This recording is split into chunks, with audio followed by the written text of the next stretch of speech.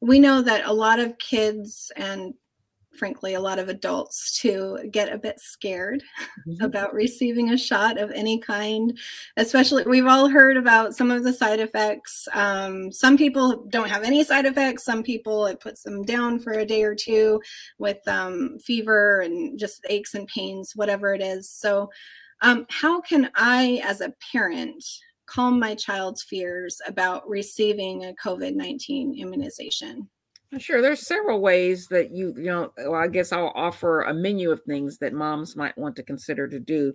So, first is uh, pick, picking a familiar location. So, if your usual source of care offers the vaccine, then they're used to going to that space. So, that will be a known place where that could be a, uh, a place of comfort for them.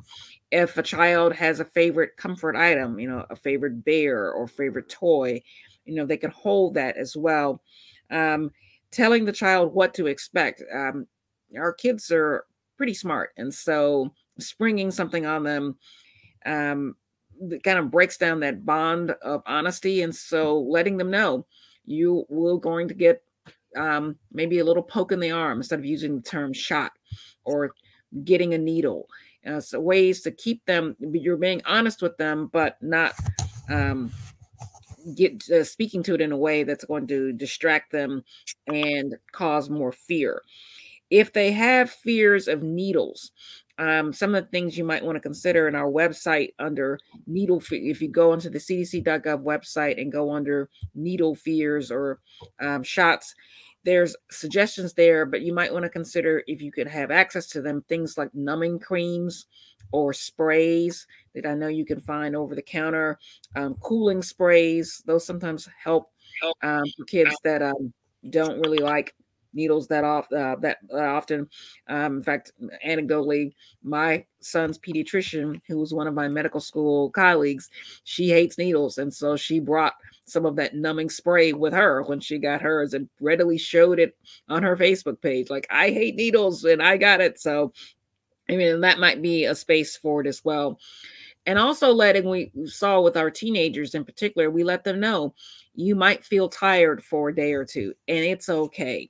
And if you have the opportunity to do this maybe on a time where it's maybe less stressful going on in the child's life, maybe do it where they've got the weekend to recover mm-hmm. if they should have that that's another thing to think about um having them again on our website we talk about you may need additional fluid so get encourage them to drink liquids um, that they can you can offer your child um, pain medicine afterwards. Tylenol is a good one if your kid can to- tolerate that.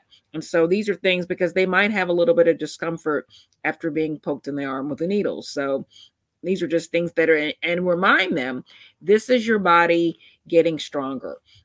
Yeah. that if you feel your tummy hurts a little bit or your arm hurts a little bit that that's all normal that nothing's wrong with you that you are yours it's your body getting stronger to fight off um, a particular illness. And so it's you getting stronger. That's your body's normal way of being its best self. And so these are just some suggestions that you might want to consider. And again our website under needle fears and needle phobias has lots of other suggestions for them to consider